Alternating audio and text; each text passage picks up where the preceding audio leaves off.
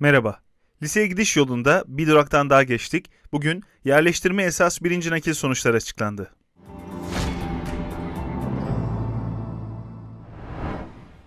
Sonuçlara map.gov.tr ya da eokul.map.gov.tr adreslerinden ulaşabiliyoruz. Daha öncesinden olduğu gibi. Bugün bizi yine 4 tane sonuç karşılayacak. İstediğiniz liseye yerleştiniz ya da yerleşemediniz, hiçbir liseye yerleşemediniz ya da daha önce nakil başvurusunda bulunmamıştınız.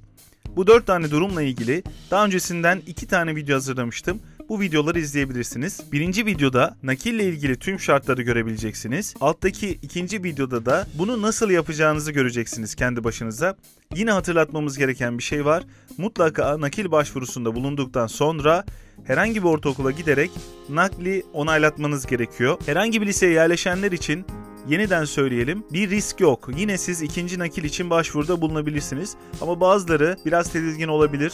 Acaba ben kaybedebilir miyim yerimi diye. Kesinlikle yerinizi kaybetme diye bir şey yok. Siz isterseniz herhangi bir liseye yeniden başvuruda bulunabiliyorsunuz. Bu şartları bir ve ikinci videoda sırasıyla görebilirsiniz. Video sonunda bu videoları tıklayarak izleyin. Bu sefer aynı birinci nakili beklediğimiz gibi ikinci nakli bekleyeceğiz.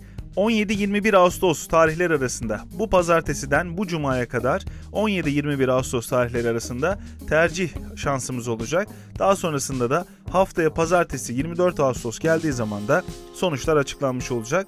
İkinci nakil sonuçlarında da yerleşemezsek o zaman komisyonlara başvuruyla ilgili bilgiler vereceğim size. Sırada olacak. Yani bundan sonra bir şansınız daha olacak ama tabii ki bazı boşluklar artık yavaş yavaş dolmaya başladı. O yüzden elimizi sıkı tutmamız gerekecek. Yerleşen arkadaşlarımızı tebrik ediyoruz. Diğer öğrencilerimiz de üzülmesin. İkinci nakil başvuru hakkımız devam ediyor. Daha sonrasında da dediğim gibi komisyonlara başvuru diye bir hak var. Onunla da ilgili bilgiler vereceğiz. Görüşmek üzere. Kolay gelsin.